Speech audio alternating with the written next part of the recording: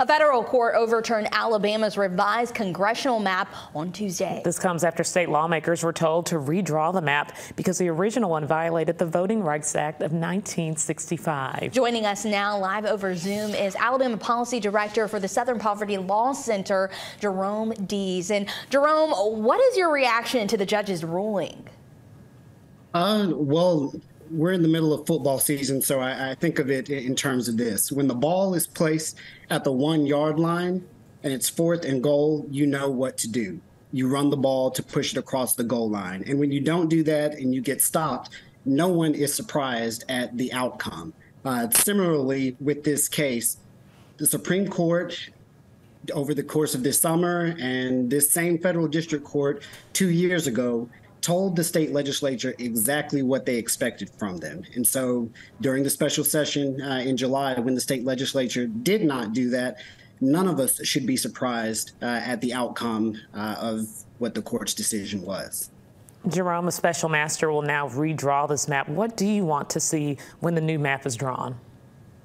Uh, my hope is that the special master and the cartographer uh, assigned to the special master will do exactly uh, what the court laid out for them to do uh, in their initial uh, preliminary injunction dating back to 2022 uh, and follow what the guidelines are that the Supreme Court said, which is creating that second majority minority district. It should be plain and simple, straightforward progress. And we do know this may not be in effect for a while. The state is expected to appeal the to SCOTUS. Are you worried about any upcoming election? Uh, I'm concerned, uh, not necessarily about the outcome, but the effect that will have on the state of Alabama uh, and Alabama's voters.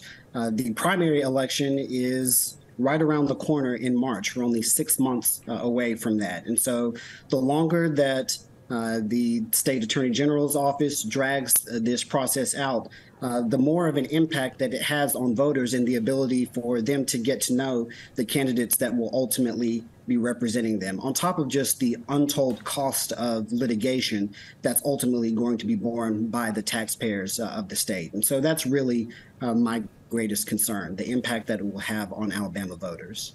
For those appealing, for those who say the maps are good the way they are, what is your reaction to that?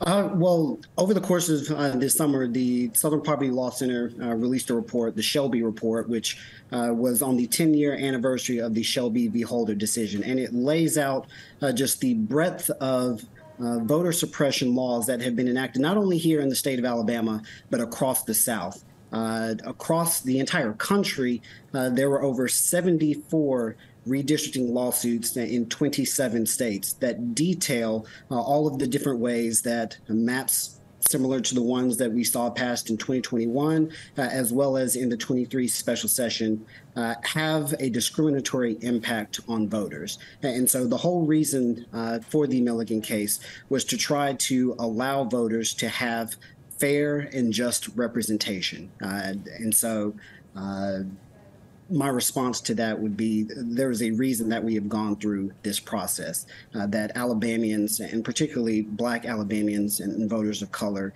uh, deserve uh, that second seat and that fair representation in Congress. Jerome, anything else you want to say about yesterday's ruling?